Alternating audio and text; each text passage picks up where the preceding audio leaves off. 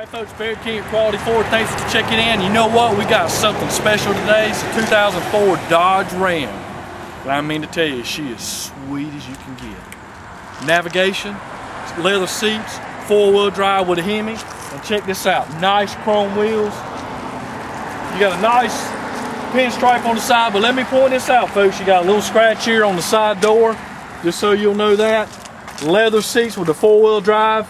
5.704 model. I mean, the leather and interior's been well maintained. Seats up to five people. Factory running boards.